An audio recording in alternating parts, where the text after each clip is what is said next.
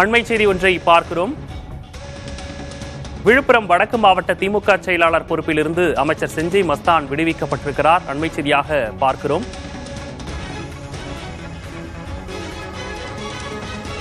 விழுப்புரம் வடக்கு மாவட்ட செயலாளர் பொறுப்பிலிருந்து அமைச்சர் செஞ்சி மஸ்தான் விடுவிக்கப்பட்டிருக்கிறார். திமுக மாவட்ட செயலாளர் பொறுப்பிலிருந்து மஸ்தான் நீக்கப்பட்டிருக்கிறார். அண்மை செய்தியாக பார்க்கிறோம். விழுப்புரம் வடக்கு மாவட்ட செயலாளர் பொறுப்பிலிருந்து அமைச்சர் செஞ்சி மஸ்தான் விடுவிக்கப்பட்டிருக்கிறார்.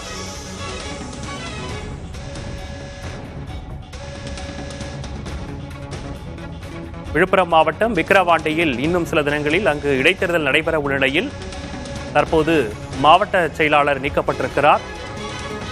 முக்கியத்துவம் வாய்ந்ததாக பார்க்கப்படுகிறது. விழுப்புரம் வடக்கு மாவட்ட செயலாளர் பொறுப்பிலிருந்து அமைச்சர் செஞ்சி மஸ்தான் நீக்கப்பட்டிருக்கிறார். இது தொடர்பான கூடுதல் விவரங்களோடு செய்தியாளர் ராஜ்குமார் இணைந்திருக்கிறார். ராஜ்குமார் இந்த மஸ்தான் நீக்கத்திற்கு என்ன காரணம் சொல்லியிருக்காங்க? விக்னேஷ் அஹ் அதாவது விழுப்புரம் மாவட்டத்தில் இருக்கக்கூடிய விக்கிரவாண்டி தொகுதிக்கு இடைத்தேர்தல் அறிவிக்கப்பட்டிருக்கிறது. நேற்று இடைத்தேர்தல் தேதி அறிவிக்கப்பட்டவுடன் திமுக தலைமை இடைத்தேர்தலுக்கான அடுத்த கட்ட நடவடிக்கையை கட்சி சார்பாக எடுத்திருக்கிறார்கள். இதில் மிக முக்கியமானது விழுப்புரம் மாவட்டத்திற்கு பொறுப்பாளர் நியமனம் இல்லாமல் இருந்தது. தற்போது அந்த பொறுப்பாளருக்கான அறிவிப்பை திமுகவினுடைய பொதுச் செயலாளர் துரைமுருகன் செய்திக்குறிப்பு வாயிலாக அறிவிப்பு செய்திருக்கிறார்.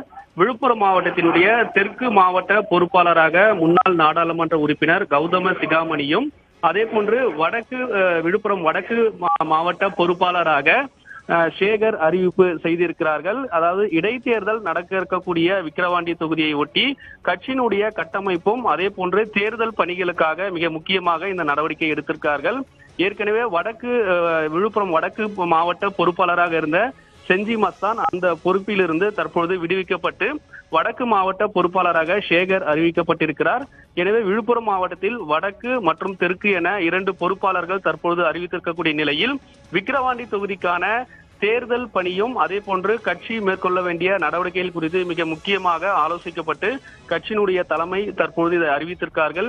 ஏற்கனவே வேட்பாளருக்கான பரிசீலனை செய்யப்பட்டு வரக்கூடிய நிலையில் அடுத்த கட்டமாக கட்சி தலைமை வேட்பாளருக்கான அறிவிப்பு செய்ய இருக்கிறார்கள்.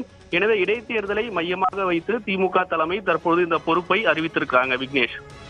ராஜ்குமார் இடைத்தேர்தலை மையமாக வைத்து இந்த நீக்கம் நடைபெற்றிருக்கலாம் என குறிப்பிட்டிருந்தீங்க. சற்று முன்பாக முதலமைச்சர் தலைமையில் ஒரு ஆலோசனை கூட்டம் நடந்திருந்த விக்கிரவாண்டி இடைத்தேர்தல் தொடர்பாக முக்கிய நிர்வாகிகளுடனான அந்த ஆலோசனை இருந்தது அந்த ஆலோசனைக்கு பிறகு இந்த அந்த ஆலோசனை கூட்டத்தில் இந்த முடிவு எடுக்கப்பட்டதா? ஏற்கனவே நேற்றே இது தொடர்பாக கட்சியினுடைய தலைமை ஆலோசனை செய்திருக்கிறார்கள். ஏனென்றால் இன்னும் குறுகிய காலகட்டத்திலே விக்கிரவாண்டி தொகுதிக்கான இடைத்தேர்தல் நடைபெற இருக்கிறது.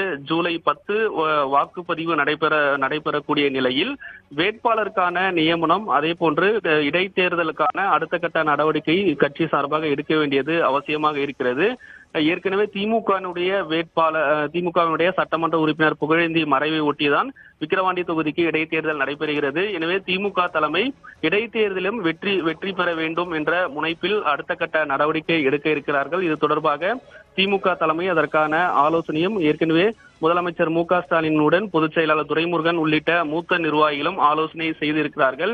எனவே அடுத்த கட்டமாக வேட்பாளர் தேர்வுக்கான நடவடிக்கையும் தற்பொழுது தொடங்கி இருக்கிறார்கள் இதை மையப்படுத்தி தான் தற்போது பொறுப்பாளர் நியமனம் மிக முக்கியமாக பார்க்கப்படுகிறது. இடைத்தேர்தலில் ஆளும் திமுக வெற்றி பெற வேண்டும் என்ற முனைப்பில் அதற்கான பணியை தீவிரப்படுத்தி இருக்கிறார்கள்.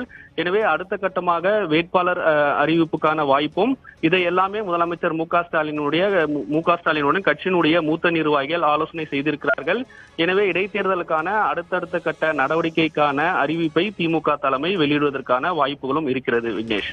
இடைத்தேர்தலுக்கான பணிகளை திமுக மும்முரமாக செயல்பட்டு கொண்டிருக்கிறது. இப்போ அதனுடைய தொடர்ச்சியாக தான் இந்த நீக்கம் இருப்பதாகவும் வந்து குறிப்பிட்டிருக்கீங்க. விவரங்களை வழங்கியமைக்காக நன்றி ராஜ்குமார்.